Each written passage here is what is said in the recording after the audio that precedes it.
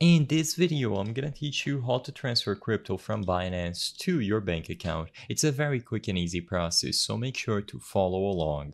First, in order to transfer your funds from Binance to a bank account, you have to sell your crypto inside of Binance. So in this video, I'm not gonna strictly tell you how to sell your crypto. I'm gonna assume that you have already sold your crypto for balance inside of Binance. And in this video, I'm gonna teach you how to transfer that balance and not crypto from Binance to a bank account. Because of course, you cannot directly transfer crypto assets from Binance to a bank account.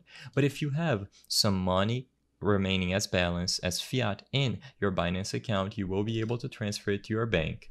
What you have to do is sign in to the Binance website or the mobile app and go to your wallet fiat and spot page.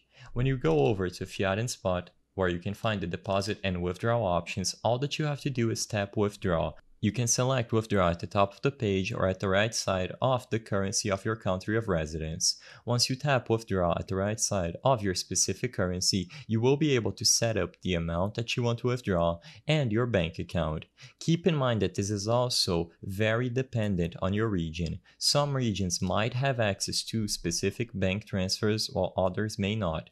In order to check if you are able to transfer your money from Binance to a bank account, all that you have to do is tap withdraw at the right side of your currency and see if you have the option to edit a bank account. As you can see, for transferring euros, you will be able to set up an account number and get an instant bank transfer. So go ahead, set up your account, and once you tap continue, you will be able to double check all of the credentials, so the account name, account number, and the amount. Be aware of any possible fees, and as long as you include valid and legitimate information about a bank account, you will be able to transfer any amount of funds that you have from Binance to a bank account. Like I mentioned in the beginning, this is all dependent on your region, so you have to check if you have the option to withdraw to a bank account, and you need to remember to sell your crypto asset before you can transfer it into your bank account.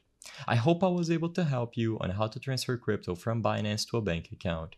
If this video helped you, please be sure to leave a like and subscribe for more quick and easy tips. Thank you for watching.